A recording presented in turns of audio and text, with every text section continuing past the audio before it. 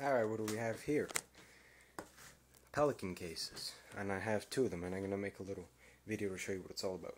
This one here I liked, my favorite case so far. It's like a little mobile office. It's a Pelican 1495 Pelican case. And I have the strap for it. Got a little combo lock. And of course I put my name, property of. So, and then we have two latches here. One more latch another latch and now we have two reinforced holes over here to put uh, your own locks. And we have a little combo lock here which you. Pop it open.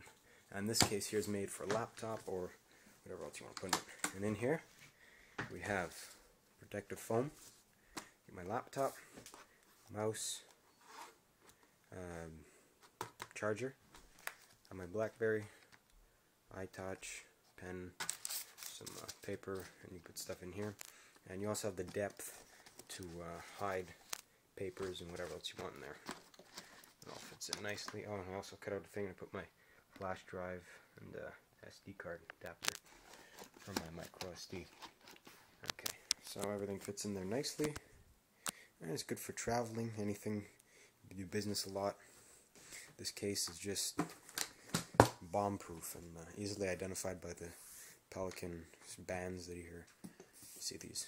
And uh, the other one here is a Pelican 1510. And I have two TSA locks on this one.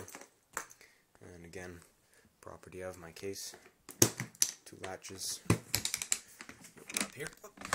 This one's empty, and this is a carry-on standard size, so you can bring it on the airplane with you. So whenever I travel, I take this one and this. It's all good to go.